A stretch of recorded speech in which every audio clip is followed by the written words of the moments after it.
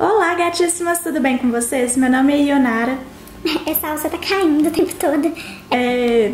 Tô aqui pra fazer mais um tutorial de maquiagem, dessa vez pra ajudar vocês aí nas videoconferências de trabalho, né, que tá rolando nessa quarentena. Muita gente tendo que aparecer em vídeo, não tem o costume, não sabe, né, o que passar pra não ficar muito, né, nem ficar pouco. Então eu espero muito ajudar vocês com essa maquiagem. Quem não é inscrito no canal, se inscreve. Já deixa o like aí no vídeo se gostou da ideia. E deixa nos comentários é, se é, vocês querem mais conteúdo voltado para esse assunto, o que, que vocês querem ver por aqui, deixa aí para eu poder ajudar vocês. Todos os produtos que eu usei eu vou deixar no blog, o link tá logo abaixo para vocês poderem ver direitinho tons e tudo mais que eu usei. E bora lá pro tutorial. Eu já passei um pouquinho de primer no rosto, mas foi bem pouquinho. Se você vai fazer a maquiagem mesmo só aí pra fazer uma videoconferência, alguma coisa rapidinho e depois vai tirar, talvez você nem precise de passar, né? Contando aí que conferência às vezes vai durar meia horinha e você já vai tirar a make, não tem por que passar porque você não tá querendo durabilidade. Então, você iria meio que desperdiçar, mesmo que seja pouquinho primer, né? Você iria desperdiçar. Então, pode ir direto pro corretivo. Como é uma, uma opção bem rápida de maquiagem, né? Uma coisa para ser para uma para uma coisa um evento rapidinho, né, que tá acontecendo ali online, eu não acho que precisa passar muita coisa. Enfim, mas se você quiser pode passar a base. Eu vou fazer dessa forma porque eu acho que é uma forma que funciona, que vai poupar muito tempo para vocês, que vocês não vão ficar desperdiçando o produto, né? E não fica demais também, porque afinal a gente tá trabalhando de casa, então não tem por que a gente passar como se a gente fosse sair. Vou pegar aqui o corretivo, passar aqui abaixo do olho e vou usar a esponjinha pra é...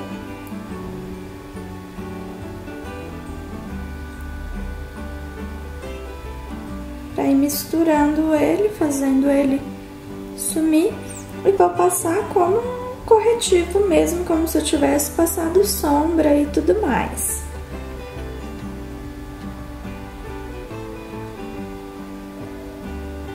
Até ele sumir aqui no, no restante da pele. Aqui eu tô levando ele mais aqui pro centro, mais descendo ele pro meio, até ele sumir mesmo na pele. Como quando a gente tá com a base, né, a base uniformiza, então a gente, ele some um pouquinho antes. Aqui no caso, eu passei o mesmo tanto, porém eu tô descendo mais do que eu desceria se eu tivesse com base, porque como eu não estou, dá pra ver ainda a diferença de onde é pele, né, onde não tem maquiagem nenhuma e onde tem. Por isso que eu tô descendo um pouquinho mais. E o restinho que ficou na esponjinha, tô dando batidinha aqui no resto do rosto. Só aqui no meio. Então, olha a diferença, né? Aplicando o mesmo tanto de corretivo que eu aplico quando eu tô fazendo a minha maquiagem normal. Olha como já fez diferença. Gente, essa blusa aqui é a primeira vez que eu tô usando e a alça dela fica caindo assim o tempo inteiro. Então, volta e meia, provavelmente vocês vão ver aí que tá sem alça. Vou fazer o mesmo aqui do outro lado. Se você é, quiser também, pode passar um pouquinho menos de corretivo, se sua pele tem o tom mais igualzinho, né? Talvez você não precise de tanto. E vou pôr bem pouquinho aqui na testa, só pra gente poder espalhar isso mesmo depois e deixar a pele uniforme. Pode espalhar também com um pincelzinho, se você tiver e é pincel, né? Não for esponjinha, também não, não faz diferença.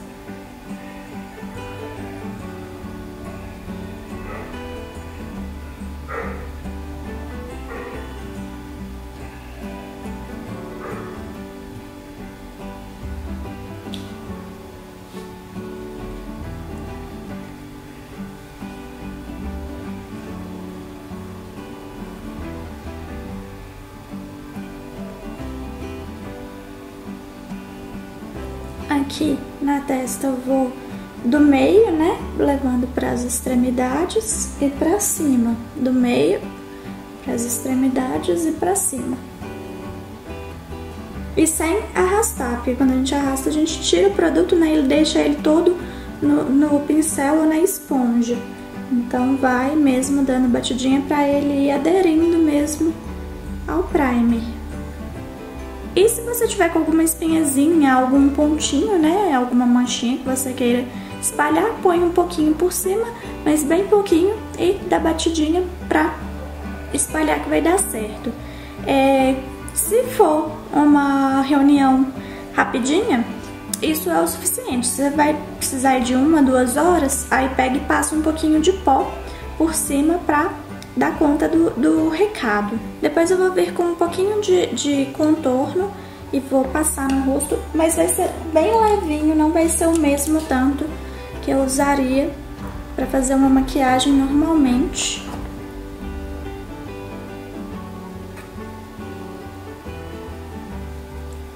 Só mesmo para dar uma corzinha aqui no rosto.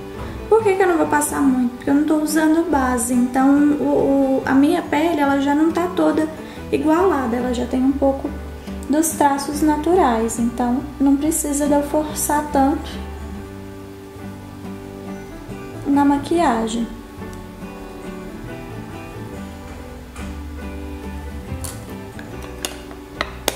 Vou pegar um pouquinho de blush para poder passar também, porque essa região aqui ela recebeu um pouquinho mais de corretivo, ela tá mais sem cor. Então, vou usar um pouquinho do blush. Aí eu vou, aplico aqui na maçãzinha, dei um sorrisinho, onde levanto, aplico, levo aqui em direção ao começo da orelha. Ele vai dar uma mesclada com o contorno.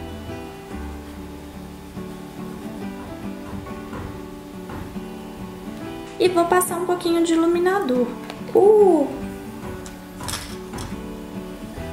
o iluminador, em geral, eu não, não abro mão porque, principalmente para vídeo, foto, ele dá um efeito bonito, ele dá um efeito de pele mais saudável, que você tá assim, mais fresca, revigorada, né? Que você tá bem então acho que é legal passar, né? Ninguém tá quer ficar com cara de que tá aí em casa, monótono, e enfim. Então, aqui abaixo do olho, nessa linhazinha onde tem o ossinho aqui, vocês podem apertar que vocês vão sentir o ossinho. Eu vou colocar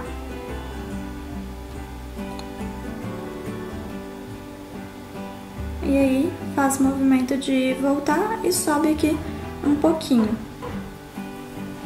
Vou fazer o mesmo de cá. Sobe aqui um pouquinho. Com o, o dedo, vou pegar aqui um pouquinho, aplicar aqui no arco do cupido, que é esse Vzinho que a gente tem aqui em cima da boca. Vou aplicar um pouquinho aqui na pontinha do nariz. Fica bem legal em vídeo. E Vou pegar bem pouquinho com o pincel, bem de levinho, e aplicar aqui acima da sobrancelha, bem de, de levinho, só um pouquinho. Você pode optar ou por um batom nudezinho, o batom que você gostar um pouquinho mais. Eu indico o uso de um batom cremoso ou um gloss ao invés do mate, porque o mate dá aquela coisa muito séria, muito é, é, marcada, enquanto o cremoso, o gloss, ele é um pouquinho mais jovial, mais descontraído. E também, né, vai sair mais fácil na hora que você terminar, você pode ir ali no batom, no, no, banheiro, né, pega um papelzinho, tira ali o batom, ele vai sair tranquilo. E se você passar um batom mate e quiser tirar, você vai ter que usar demaquilante. Mas aí vai mesmo de cada um, eu peguei aqui um gloss com um pouquinho de cor. É só mesmo pra dar um tomzinho na boca, pra não ficar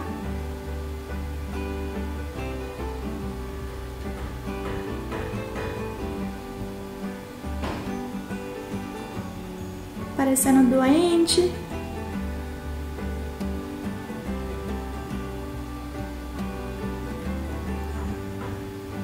É, de sombra, o que eu indico é pegar um tomzinho que seja bem próximo do seu tom de pele. Eu vou usar esse daqui, que é um, um rosinha clarinho. E aí, você pode aplicar direto, não precisa pôr primer, porque a gente não quer que fique super forte, nem nada assim. Então, eu vou vir direto aqui na, na pálpebra e aplicar. A intenção é de deixar como se fosse a, a pele mesmo, né? Só que sem brilho. Dá uma matificada. Deixar sem brilho nenhum.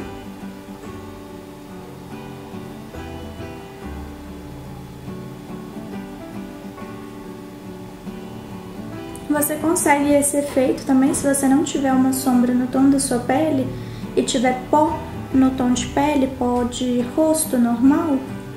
Aí não serve o translúcido, tem que ser no tom de pele. Aí você pode passar ele ao invés de passar a sombra.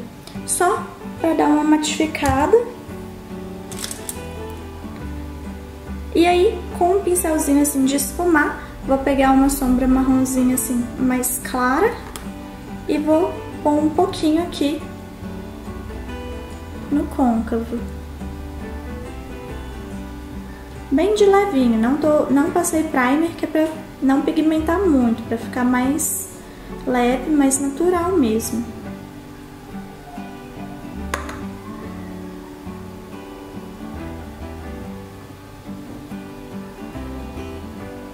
Assim a gente fica com cara de que a gente acordou plena, né? Assim, tá, tá linda, maravilhosa, mas não tá demais, tá dentro de casa e pronta pra trabalhar, mas sem parecer que gastou ali 10 horas só pra fazer a maquiagem para um vídeo que vai durar ali 20 minutinhos e acabar. Vou passar também a máscara de cílios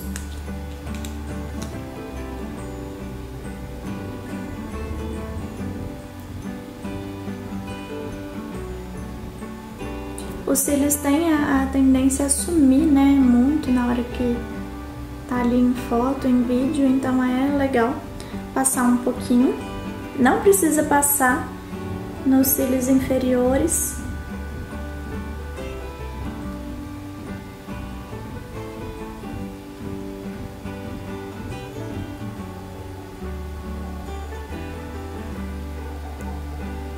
Na minha opinião, também não precisa passar delineado, não precisa passar lápis na linha d'água, porque a menos que você tenha um cargo muito importante, né, ou, ou, a sua empresa seja algo nessa área mais de beleza e você queira, né, precisa estar muito bem arrumada, né, aí tudo bem, passa, faz a maquiagem toda completa.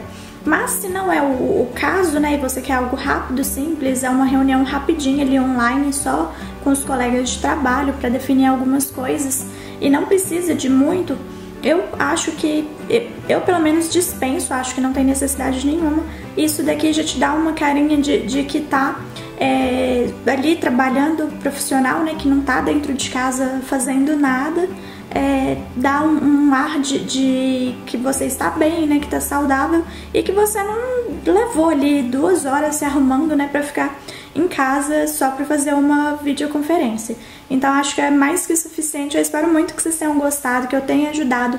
Se alguém está precisando aí de uma maquiagem um pouco mais completa para videoconferência, se acha que está muito simples e precisa de um pouquinho mais, comenta aí embaixo para eu saber fazer uma maquiagem um pouco mais elaborada para vocês mas acredito que essa aqui vai satisfazer a maioria. Então, muito obrigada por quem assistiu até aqui, se inscreve no canal, deixa o like aí no vídeo e beijão, vejo vocês no próximo.